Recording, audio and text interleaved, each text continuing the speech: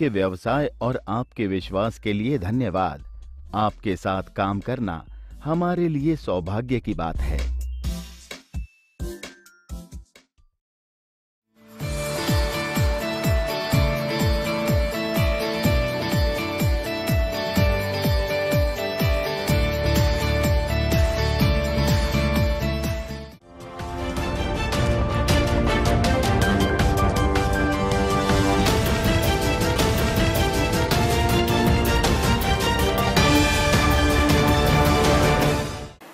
নমস্কার। আমার বাংলা সংবাদে আমি অনুষ্কা দাস আপনাদেরকে স্বাগত জানাচ্ছি। প্রথমেই সংবাদ শিরোনাম। ডিজিটাল লুট করছে এপিডিসিএল শাসক দলের বিরুদ্ধে সরব হল কংগ্রেস।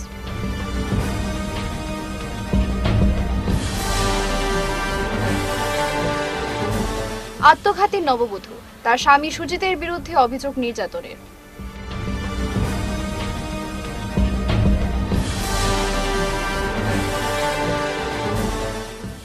আড়াই লক্ষ টাকার সামগ্রী সীমান্তে বন্টন বিএসএফ এর।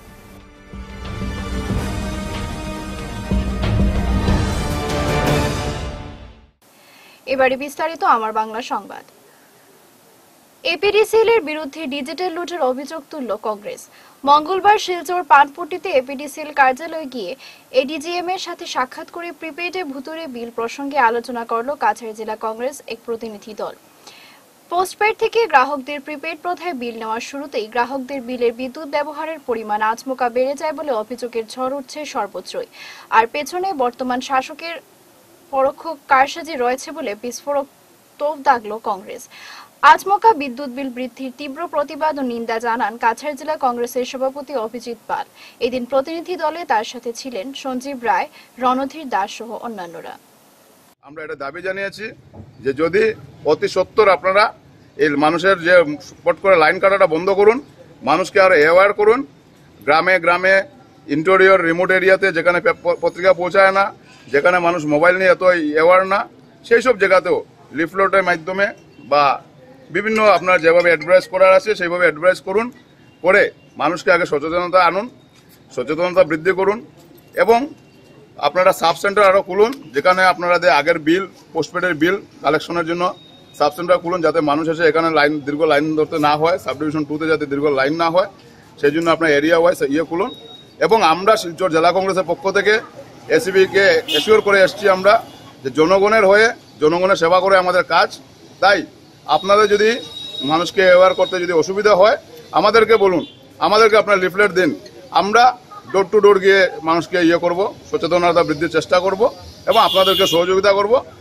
কারণ জনগণকে আমরা সাহায্য সহযোগিতার জন্য আমরা প্রস্তুত আছি। কংগ্রেস কি প্রিপেড মিটার সাপোর্ট করেনি কংগ্রেস জনগণের হয়রানি থেকে বাঁচাবার জন্য আমরা যাতে কীভাবে অ্যাওয়ার করতে হয় মানুষকে যদি ওদের স্টাফ কম থাকে তো আজকে আসামের মাননীয় মুখ্যমন্ত্রী উনি বলেছেন যে গ্রাহকরা ভুক্তভোগী এবং এপিডিসিএলকে ডাইরেকশন দিয়েছেন ঘুরে ঘুরে গিয়ে সমস্যার সমাধান করা। মানে মুখ্যমন্ত্রীও সমর্থন করছেন না এই বিলটাকে এই কি বলে? প্রিপেড মিটারটাকে আমরা কি করে সমর্থন করব? আমরা আজকে ডিমান্ডের সাথে কিছু প্রস্তাব রেখেছি যে অ্যাওয়ারনেসের ব্যাপারে আমরা সহযোগিতা করব। আমাদেরকে বলুন।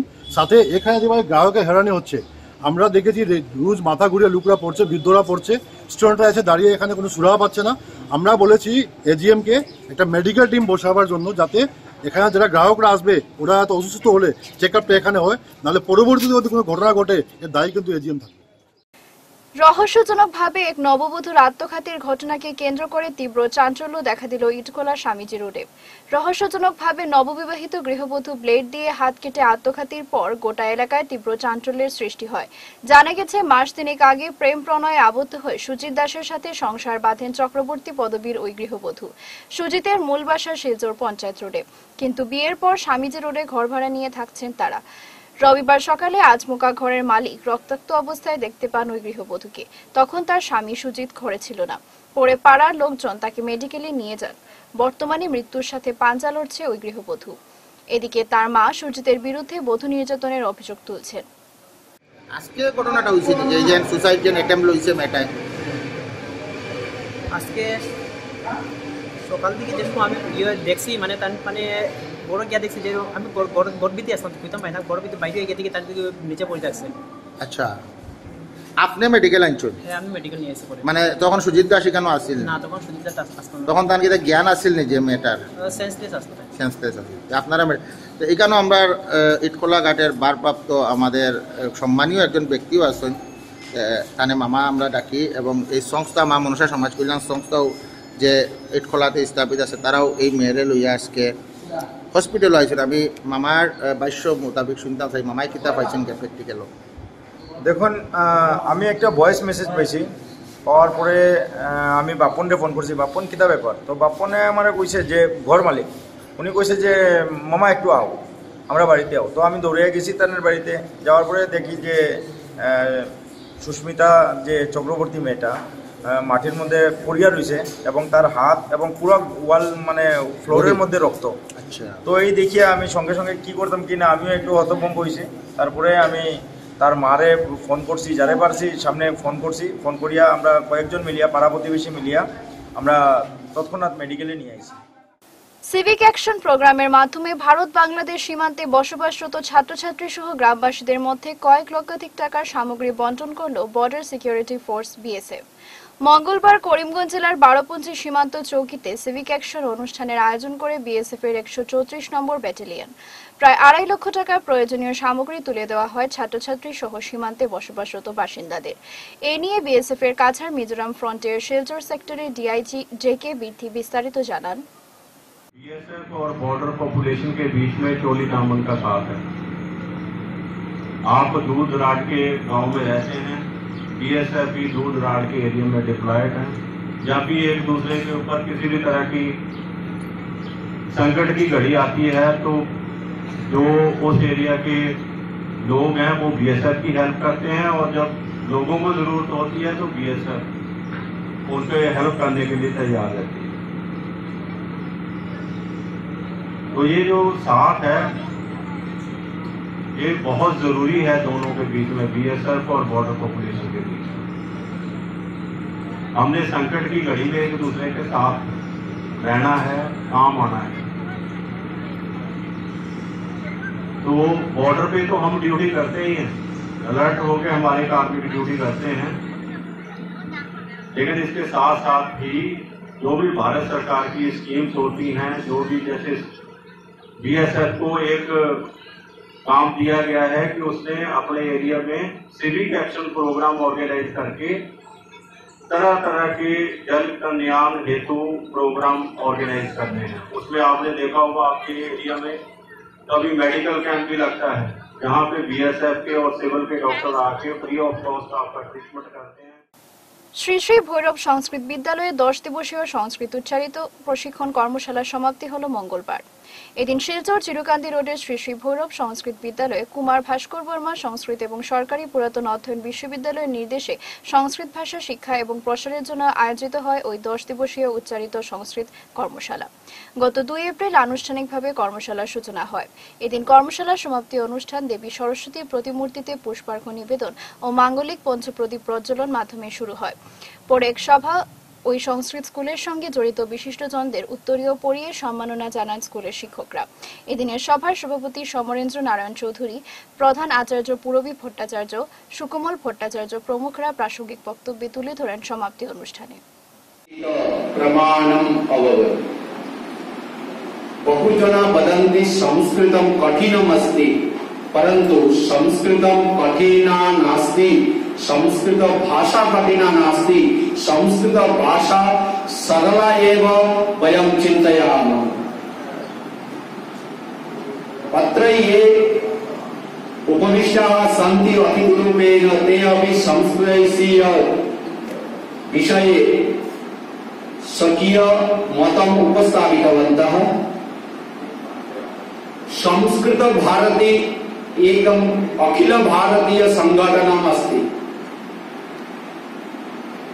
प्राय चत्वारिंशत् वर्षेभ्यः संस्कृत भारती कन्याकुमारीतः हिमालयपर्यन्तं मणिपुरतः गुजरात् पर्यन्तं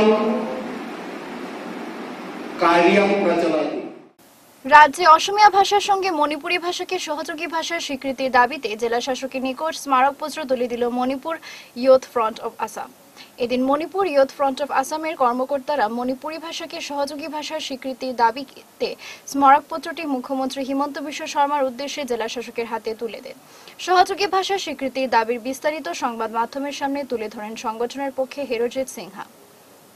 আজকে আমরা কাছাড়ে ডিসি মহোদয় হাতে আসাম মুখ্যমন্ত্রী শ্রী হিমন্ত বিশ্ব শর্মার কাছে আমরা একটা মেমোরান্ডাম জমা দিলাম যে আসামও মণিপুরী ভাষাকে সহকারী ভাষা হিসাবে স্বীকৃতি দেওয়ার জন্য আমরা মণিপুরী যুব ফ্রন্ট আসাম থেকে দাবি করি। যেহেতু মণিপুরী ভাষা আসামও যে তেরোটা ডিগ্রি কলেজে মণিপুরী অনার্স পড়াশোনা করে আরও আসাম ইউনিভার্সিটি শিলচরতে মণিপুরী বিভাগ আলাদা করে আমরা এম এ, ডক্টরেট পাস করি। কিন্তু আসাম সরকারের দুই সালে পাঁচ আগস্টে একটা একটা আইন পাস করা হয়েছে, যেটা আসাম সরকারে সরকারি চাকরি ইন্টারভিউ দেওয়ার সময় বরাকবুলিতে বাংলা ব্রহ্মপুত্রবিলিতে আসামিজ আর বড়োলেন্ডে বড়ো ভাষা। এই তিন ভাষাতে সরকারি ইন্টারভিউ দেওয়া হব এই এই আইনের বিরুদ্ধে আমরা আসামের যে মণিপুরী সম্প্রদায়, যে আজকে মণিপুরী, অনার্স লইয়া মণিপুরী বিএ পাস করছে আর এম এ পাস করছে, এইগুলা ছাত্ররা আসাম সরকারের গভর্নমেন্ট ইন্টারভিউতে কী ভাষাতে লেখা হইব? দুই হাজার উনিশে আগে আমরা ইংলিশ ভাষাতে ইন্টারভিউ দিত, কিন্তু দুই হাজার উনিশে পরে যে বরাকবিলিতে বা ব্রহ্মপুত্রবিলিতে সরকারি চাকরি ইন্টারভিউ দেওয়ার সময় বাংলা আর আসামিজ আর বোডো, ওই থ্রি ল্যাঙ্গুয়েজ ফর্মুলাটা আমরা এটাতে প্রতিবাদ করি। এই জন্য আমরা মণিপুরি ভাষাকেও আসাম সরকারে সহকারী ভাষা হিসাবে স্বীকৃতি দেওয়ার জন্য আমরা দাবি জানাই। এই দাবিতে আজকে আসামের মুখ্যমন্ত্রীর কাছে আমরা একটা মেমোরান্ডাম জমা করছি। প্রাণঘাতী হামলার পর সদরে মামলা করে দশ দিন পরও কোনো সুবিচার না পেয়ে এসপি নিকট এক পুলিশ কর্তার বিরুদ্ধে লিখিত নালিশ করলেন মামলাকারী। উল্লেখ্য, সম্প্রতি পয়লা এপ্রিল রাত নয়টা নাগাদ এক দল দুষ্কৃতী অস্ত্রশস্ত্র নিয়ে হামলা চালায় বাজরিপাড় জিপির মিন্টু কুমার রায়ের বাড়িতে। দুষ্কৃতীদের আক্রমণের তার পরিবারের শিশু, মহিলা সহ রক্তাক্ত হন প্রায় পাঁচজন। তারা বর্তমানে মেডিকেলে চিকিৎসাধীন রয়েছেন এবং প্রাণ ভয়ে বাড়ি ফিরে যেতে চাইছেন না পরিবারের লোকজনেরা বলে জানান মামলাকারী মিন্টু। কিন্তু ঘটনার পর দিন যথারীতি সদর থানায় এজাহার করার পরও আজ অবধি অভিযুক্তদের কাউকে ধরা হয়নি বলে জানান তিনি। পরে পরিবারের নিরাপত্তায় তিনি এসপির দ্বারস্থ হতে বাধ্য হন বলে জানান তিনি। এদিকে ওই অভিযুক্তরা একাধিক অসামাজিক কার্যকলাপ সহ গোটা অশান্তিকর পরিবেশ কায়েম করে রেখেছে বলে অভিযোগ ও ক্ষোভ তুলে ধরেন খোদ বাদ্রিপাড় জিপি সভাপতির প্রতিনিধি। আমি মিন্টু রায় মাতৃবার পারপুর বাড়ি। গত এক তারিখ আমাদের পাশের বাড়ির লোক দলবদ্ধভাবে আসে আমাদের প্রাণনাশীর জন্য দারুল তরোয়াল এবং কুড়াল নিয়ে আক্রমণ চালায়। তাতে আমরা মেডিকেলে মেডিকেলে কলেজে আছি। বর্তমানে সিটে অর্থোপেডিতে দুজনের অবস্থা খুব বিপজ্জনক। প্রত্যেকে চিকিৎসাধীনে আছি। এখন আমরা বাড়িতে যেতে ভয় পাচ্ছি। দুষ্কৃতীরা আমাদেরকে কোন সময় প্রাণঘাতী করতে পারে? আমি এফআইআর দাখিল করেছিলাম। গত দুই তারিখে পুলিশ আমার এ ছিলেন হানসিম কার্বি, উনি এখন পর্যন্ত কোনো আসামিকে অ্যারেস্ট করেননি। তাই আমি ভয় পাচ্ছি, আমি কীভাবে বাড়িতে যাব? মেডিকেল যদি আমাকে ছেড়ে দেয় তাহলে ওরা আমার আমাকে প্রাণ নাশ করতে পারে। তাই আমাকে, আমি আজকে এসপি সাহেবের কাছে শ্রী কার্বিং হাসি, হামসি কার্বির বিরুদ্ধে একটা নালিশ জানাই। এসপি মহোদয়ের সামনে ওনাকে আমি সুপারিনটেন্ডেন্ট অফ পুলিশের কাছে একটি দরখাস্ত দেই। এই দরখাস্তটি এই আছে আমার হাতে। এসপি কি এসপি আমাকে আশ্বাস দিয়েছেন ওসি মহোদয়কে বলেছেন ধরার জন্য আসামিকে ধরার জন্য বলেছেন। তাই আমি এসপি মহোদয়ের কাছে কৃতজ্ঞতা জানাই এবং ভিত্তিহীন এফআইআরে অংশমান দেবকে গ্রেফতার করেছে মেঘালয় পুলিশ। শিলচর থাম্পার্স ক্লাবের অভিনীত শ্রীবাস্তবের উপর প্রাণঘাতী হামলার অভিযোগে গত মাসে তিনজনকে তুলে নিয়ে যায় মেঘালয় পুলিশ। ঘটনার পাঁচ দিন পর শিলচরের ছয় ব্যক্তির বিরুদ্ধে মামলা করেছিলেন ইটকোলার বাসিন্দা অভিনীত। পরবর্তীতে আরও তিনজনকে গ্রেপ্তার করেছে মেঘালয় পুলিশ। এই ঘটনার পিছনে রহস্য দানা বাঁধছে বলে মনে করছেন বিজয় সংঘের কর্মকর্তারা। সোমবার শিলচরে আয়োজিত এক সাংবাদিক সম্মেলনে বক্তব্য রাখতে গিয়ে অংশমান দেবের গ্রেফতার করার ঘটনা ভিত্তিহীন বলে মন্তব্য করছেন তারা। গোটা বিষয়টি ধোঁয়াশায় রয়েছে এবং মেঘালয় সরকার সহ সেই রাজ্যের পুলিশকে বিষয়টি যাচাই করে দোষীদের আইনের আওতায় আনার এদিন আবেদন জানিয়েছেন তারা। সংঘ বিশ্বাসী অংশুমান দেবে নিজের স্বচ্ছতা প্রমাণ করতে সমর্থ হবেন। তবে একতরফা অভিযোগের ভিত্তিতে দুই দিকে যাচাই না করে নিরীহ ব্যক্তিকে গ্রেফতার করা মেঘালয় পুলিশের ঠিক হয়নি বলেও এদিন জানান তারা। এই যে অংশুমান দেব, এই অংশুমান দেবের এগেনস্টে যে এই যে খুন করার অভিযোগ, এই অভিযোগটা আমি পুরোপুরি খণ্ডন করি আমি এবং আমার ক্লাব। কেননা এই অংশুমান দেব এমন একটা চরিত্রের মানুষ যে কোনো দিনও আপনারা কোনো যদি তদন্ত করেন যে ওর বিষয়ে কোনো একটা ইলিগেশন পাইবেন না, যে মানুষটা কারোর সঙ্গে ঝগড়া করছে, কারোর সঙ্গে মারপিট করছে। এই মানুষ কীভাবে একটা মানুষকে খুন করতে শিলচর থেকে শিলং যেতে পারে? এটা অবিশ্বাস্য।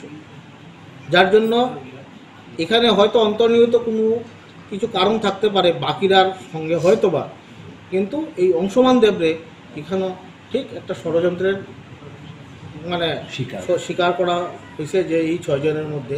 আমি অংশুমান দেবের এই যে উপর যে অভিযোগ এই অভিযোগ আমি পুরোপুরি খণ্ডন করি এবং আমি আপনার মাধ্যমে আমি মেঘালয় গভর্নমেন্টেও বা মেঘালয় পুলিশ বাহিনীরও আমি মানে আমার একটা অনুরোধ জানাইতে চাই যে ওরা যেন সঠিক তদন্ত করে।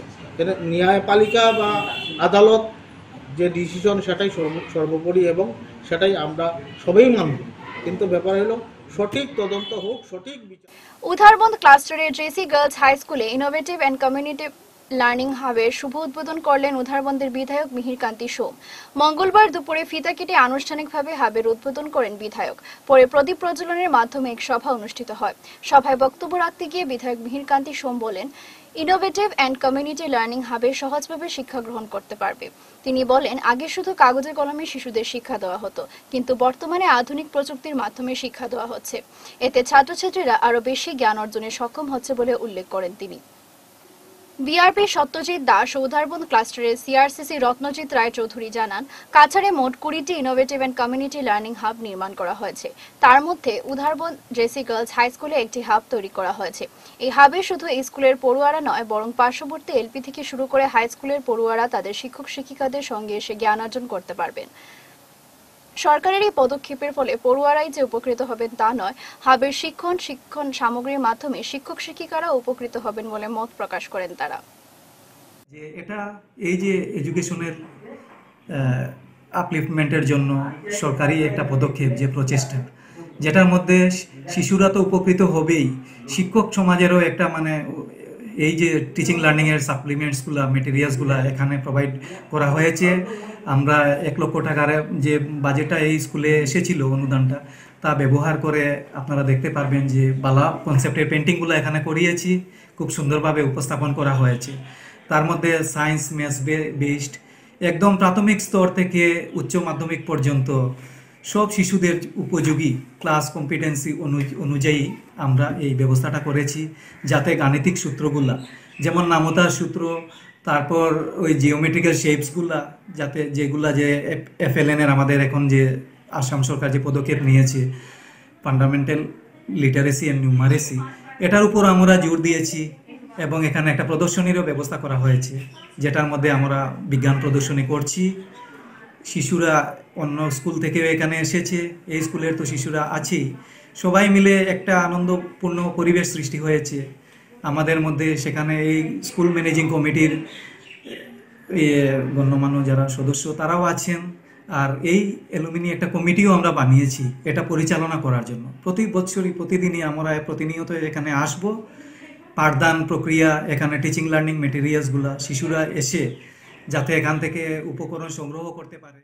ভারতীয় জনতা পার্টির চৌচল্লিশতম প্রতিষ্ঠা বার্ষিকীকে ভিত্তি করে কেন্দ্র ও রাজ্য কমিটি দলের পাঁচটি অঙ্গ সংগঠনকে গাঁও গাঁও চলো ঘর ঘর চলো অভিযান কর্মসূচির নির্দেশ দিয়েছে।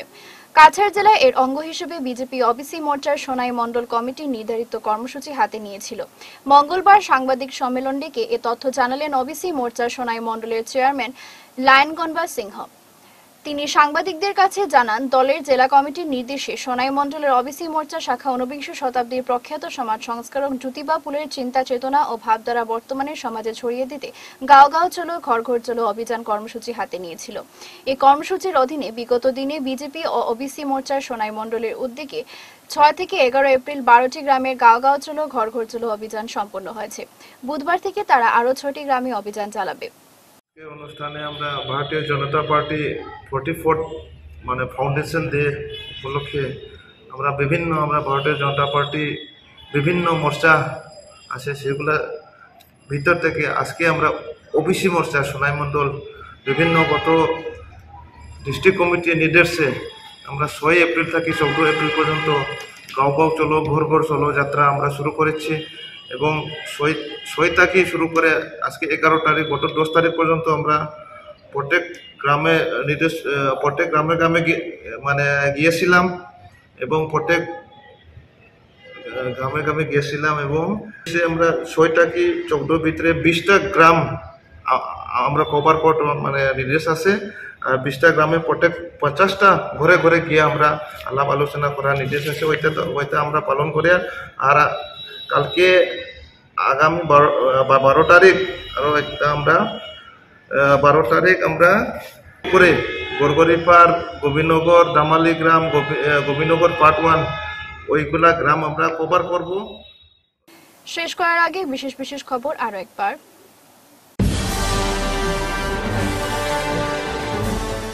ডিজিটাল লুট করছে এপিডিসিএল শাসক দলের বিরুদ্ধে সরব হল কংগ্রেস।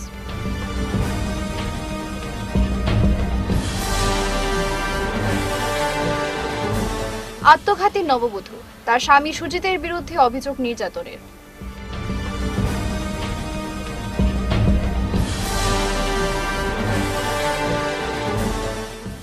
আড়াই লক্ষ টাকার সামগ্রী সীমান্তে বন্টন বিএসএফ এর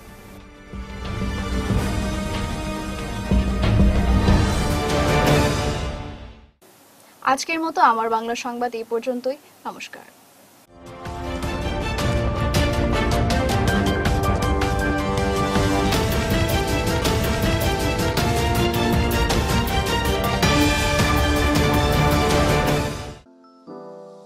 आपके व्यवसाय और आपके विश्वास के लिए धन्यवाद। आपके साथ काम करना हमारे लिए सौभाग्य की बात है।